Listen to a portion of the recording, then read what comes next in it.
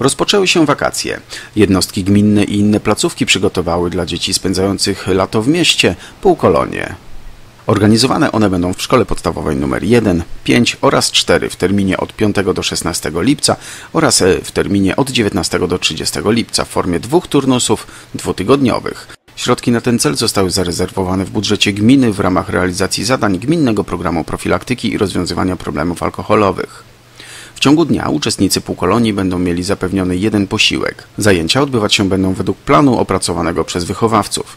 Proponowane formy spędzania czasu to wyjścia na basen i krytą pływalnię, wyjścia na zalew, organizacja rajdów i wycieczek pieszych, organizacja dyskotek, konkursów, gier i zabaw na boisku szkolnym oraz zajęcia komputerowe. Organizacją i przyjmowaniem zapisów na półkolonie zajmują się szkoły.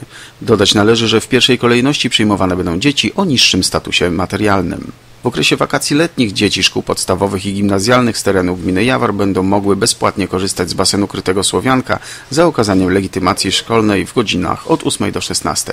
Ośrodek Sportu i Rekreacji organizuje zawody i turnieje skierowane do dzieci i młodzieży pozostających przez czas wakacji w mieście, a są to m.in. Zawody pływackie, skoki do wody z trampoliny, zawody strzeleckie z KBKS-u, turniej piłki nożnej dla szkół podstawowych i gimnazjalnych, czy turniej piłki siatkowej dla gimnazjów. Każdy uczestnik musi przedstawić pisemną zgodę opiekunów prawnych na piśmie, a w przypadku uczestnictwa grupowego odpowiedzialność ponosi opiekun. Wszystkie zajęcia, imprezy prowadzone są przez osoby posiadające kwalifikacje. Spółdzielczy Klub Piast tradycyjnie przygotował wiele atrakcji dla uczestników półkolonii. Między innymi są to wycieczki, rajdy, wyjścia na basen i zalew, a także słowiankę, wyjazdy do kina i wiele innych zabaw w klubie i plenerze. Jaworski Ośrodek Kultury, Europejskie Centrum Młodzieży Euroregionu Nysa, Mrowisko oraz Artkadia przez okres wakacji letnich organizować będzie szereg zabaw, warsztatów dla dzieci pozostających w tym czasie w mieście. Przez okres wakacji od poniedziałku do soboty od godziny 10 do 18 czynne jest Mrowisko.